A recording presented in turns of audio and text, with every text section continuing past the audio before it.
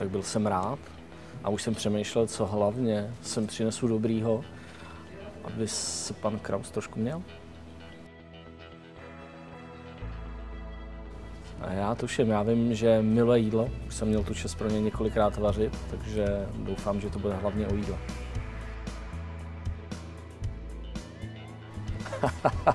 Ani ne.